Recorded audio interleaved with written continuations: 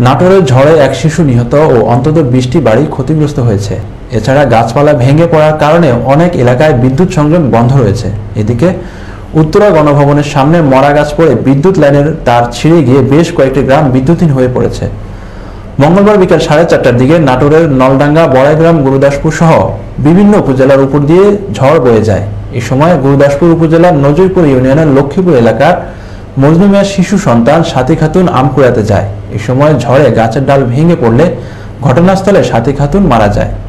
এছাড়া ঝড়ে নলডাঙ্গা উপজেলার অন্তত বিশটি বাড়ির টিনের চালা উড়ে গেছে। বড় বড় গাছ বাড়ির উপর উপড়ে পড়েছে।